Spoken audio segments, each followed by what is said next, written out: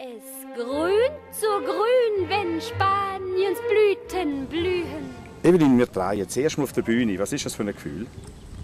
ein sehr gutes Gefühl. Es ist eine, eine wunderschöne äh, Gelegenheit, jetzt das so ein bisschen zu inspizieren.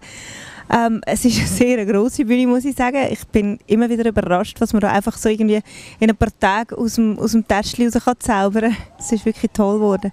Jetzt schon, es ist noch lange nicht fertig. Von New York daher, bist du schon? Ja, ja, ja, das geht bei mir schnell.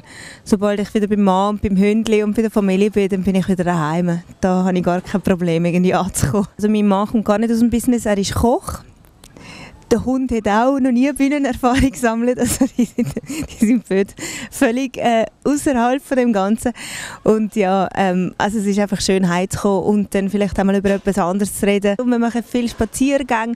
Das ist einfach unser, unser Ding und, und das, was ich auch abschalten kann. Einfach im, im, im Grünen zu sein. Und das gefällt mir auch hier einfach, einfach wahnsinnig gut. Die Gegend hier ist so so wunderschön. Also ich kann es nicht anders sagen. Ich stehe hier in Mitte von diesen Bergen und nebenan ist der See, der türkisgrüne See. Es ist einfach es ist Wahnsinn und äh, es ist ein, ein riesiges Geschenk, dürfen da zu proben und aus der Turnhalle, da proben wir jetzt gerade noch rauszukommen und gerade in dieser wunderschönen Märchenlandschaft zu sein. Also das ist definitiv ein riesiges Geschenk, das wir da haben dürfen, dass man so sein Geld verdienen Wahnsinn. Wie fühlst du dich wenn du so rausschaust? Jetzt sind die ja Reihen.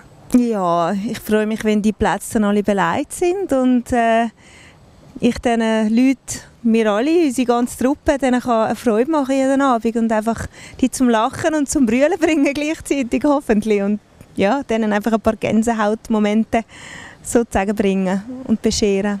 Ist die Leise in My Fair Lady auch eine Traumrolle für dich? Ja, das ist definitiv eine von meinen ganz grossen Traumrollen, die ich jetzt spielen darf. Und ähm, es ist eine grosse, grosse Herausforderung, die Rolle zu spielen, weil es sehr eine vielseitige Rolle ist. Von, von der Prinzessin über Blumenmädchen, also es ist wirklich alles drin. Sie hat ihre Wutausbrüche, sie muss brüllen, sie ist, also es ist sehr eine lebendige Sache, die ich da muss lernen und auch mich hineinfühlen vom Schatten ins Licht, momentan äh, siehst du die Sonne ein, oder? das blendet auch ein bisschen. Ich ja. bin auch so ein bisschen blendet, wenn ich durchschaue. Ich denke, also ein Hauch von Audrey Hepburn oder? ist schon ein bisschen in dir. Hat dich das auch motiviert? Audrey Hepburn, ich meine, ist für mich eine der wunderschönsten Frauen, die es je gegeben hat. Ähm, das ist glaube das Erste, was mir zu ihr in den Sinn kommt.